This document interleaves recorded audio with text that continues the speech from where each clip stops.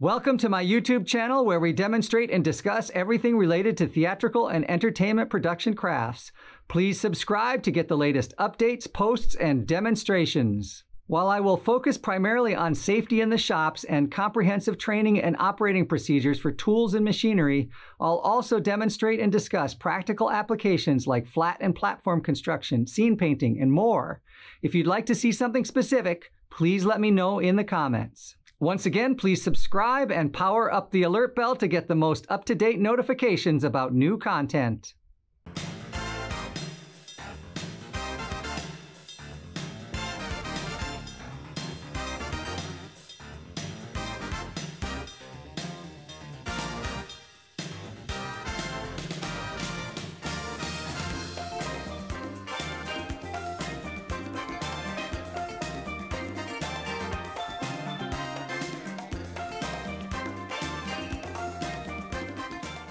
I've got one more method of leg attachment to demonstrate and show you. This one's a little bit more complex, a little bit more labor intensive, a little bit more materials intensive, but it has some advantages. I encountered this years ago doing summer stock in the East Coast back in 1997 or so. And I thought it was a bit ridiculous, the amount of work, but I'll share it with you because it's a unique construction style. I'm not sure if anyone really teaches this anymore. The crew I was working with in New Hampshire came out of the Midwest and they learned it from their carpenter. And they said this has the advantage of eliminating any squeaks that you have from leg rubbing up against platform, leg, and lid, and all of that.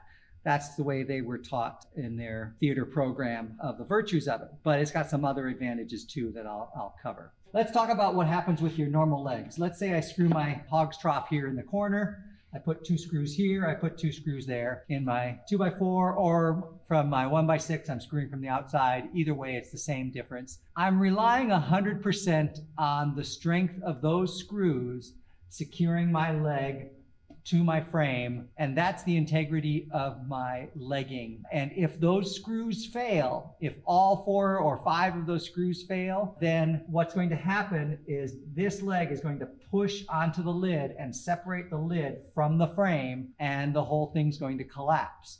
So I'm really relying on that screw more than I should have, especially when we're using drywall screws. Drywall screws are not designed to be under that constant shear force.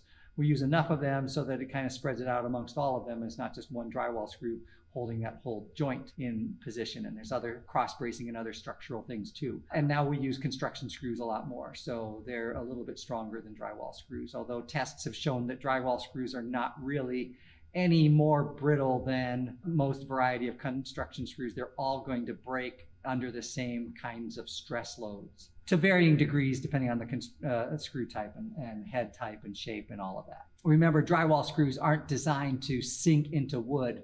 The shape of that head, that cupped shape, is designed to sink and pucker into the paper of drywall sheetrock. And it's not designed to self countersink into wood. But the construction screws have more of that type of features, and some of them have more advanced features than that. But the general construction screws have a different shaped head and will more likely countersink into the wood material.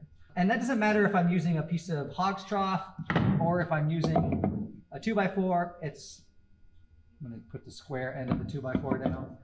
Uh, it's all the same, whether it's a 2x4 or a hog's trough. It's going to be the same thing. I'm relying on that screw at least if I bolt, if I machine bolt or uh, carriage bolt, the machine bolt or carriage bolt is not going to break uh, in the same kind of way that those screws might. The machine bolt is a whole heck of a lot stronger than screws. It's much more reliable and you're not going to have the same issue. This technique is a bit of an odd one, but it puts the leg on the frame and requires a two by four frame with a two by four leg. I don't know if this would work with a one by six frame and a one by six or one by four leg.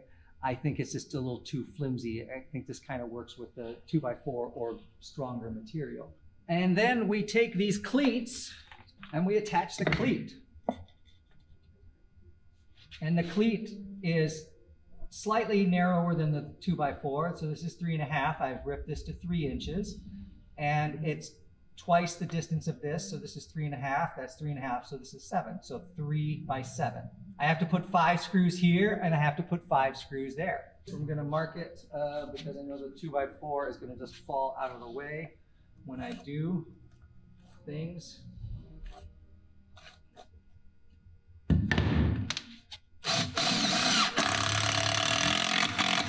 Using one and five eighths inch screws because I'm going through three quarter inch material into one and a half.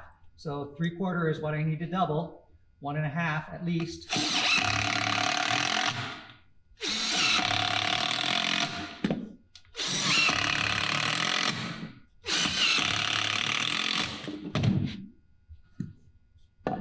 If I want to clamp it, I can clamp it, but I'm just going to hold it in place.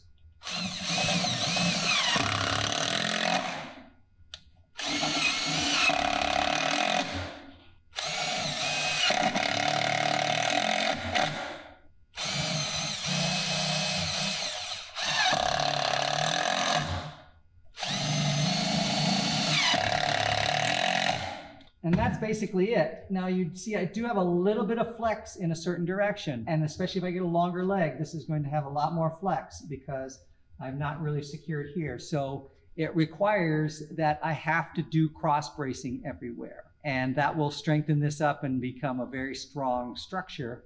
And now all the weight of the material is going through the plywood, into the framing, down the leg. And I'm not putting any of the stress on these actual screws. It's kind of like the way we assemble soft flats together with corner blocks and keystones and half straps. This is doing the same sort of principle, but it doesn't have that structural integrity that the way a four by four leg or a two by four or a hog's trough does, where I can get away with, you know, three up to four feet with some of those without any cross bracing. And it still is fairly, fairly strong. Let's take a look at this.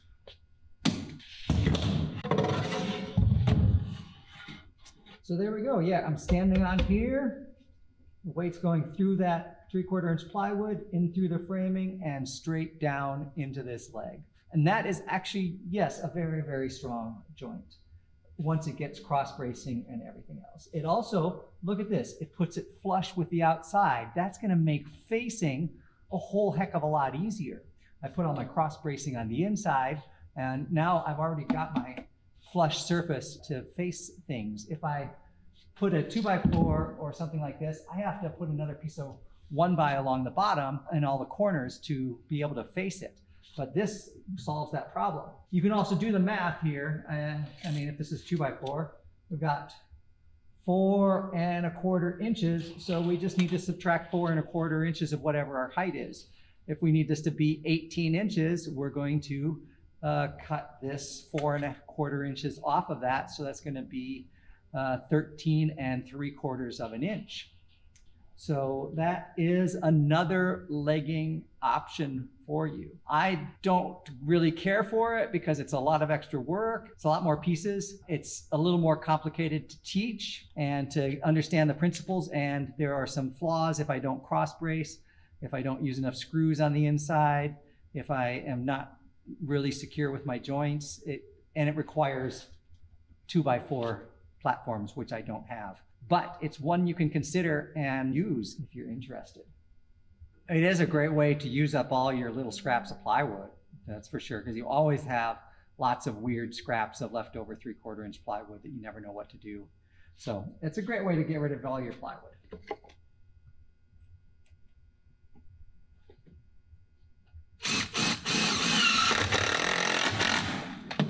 Again, make sure that I'm flush with that first screw. Always get that first screw flush.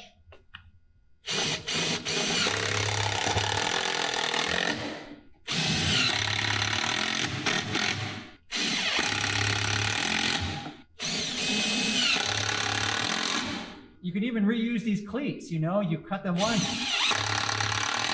Got all the holes drilled. It's three quarter inch plywood. It doesn't wear down as much as uh, one by does. It's a reusable material as well. Have a bin full of these cleats and just pull them out. Keep reusing them until they're to totally shot.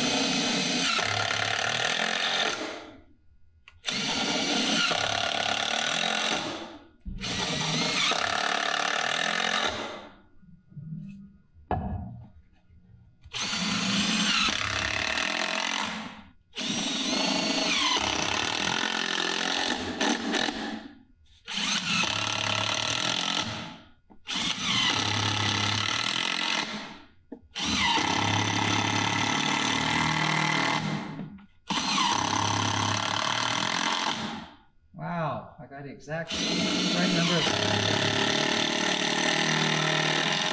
Just grab the right amount of screws out of that bin.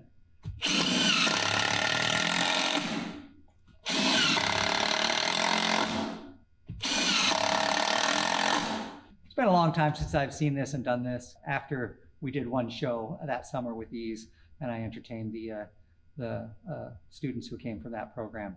I said, we're going to do it my way now because it's faster. And the next show required some rakes and some other things. And the rakes were not just things that you could calculate, but the rakes were legged to an uneven part of the auditorium and uh, irregular flooring in the auditorium. So we didn't have a consistent area to build up off of. And I'm going to do a video on my quick and dirty way to set up a rake without having to measure and calculate all of the legs and leg positions, although you can do that. And there's one other way of legging up platforms that I, I don't know if I'm going to get to today, but that is setting up sort of a truss structure like a pony wall. And I think it's got another name for it that I'm not thinking of right now, but you can build a little stud wall type of thing out of two by four or two by six or whatever material is appropriate for your support. And you can just rest your platforms on that and then stabilize it. So that's another way of legging up platforms. Uh, I'll try to do a separate video on that. But let's take a look at this. Um, I think it was five screws in each position. Again, it's not something I really uh, stuck with in my brain and have ever really used again since. And on a short platform, that's pretty strong. And if it was a taller platform and we did cross bracing, that's a, that's a pretty, pretty beefy legging technique. Got to give it kudos for that. Please remember to like, comment, and subscribe, and I'll see you next time with more technical theater content.